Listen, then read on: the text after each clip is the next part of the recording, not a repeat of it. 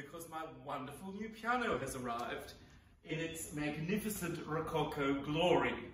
This is a marvellous imitation of a Louis XV style instrument, and it will be making its first performance this Friday, myself with Mia Stanton and my daughter Anna. The details of the bookings are underneath this video. There's only a few seats, so book quickly and we'll finish the evening with a glass of wine. I'll just give you a tiny sample of what this lovely piano can do.